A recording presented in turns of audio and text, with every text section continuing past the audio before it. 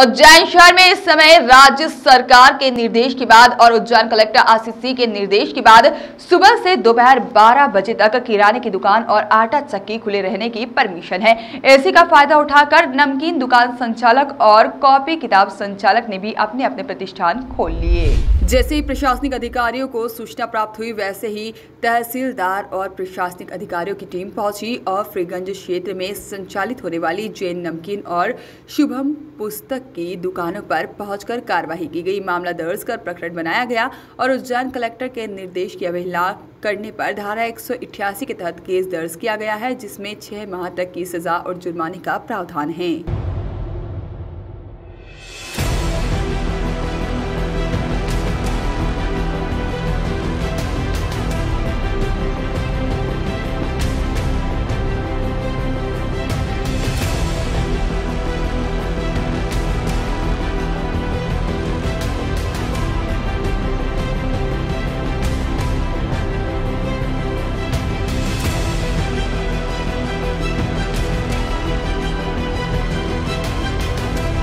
Voice of rights के लिए उज्जैन से वीरेंद्र शर्मा की रिपोर्ट।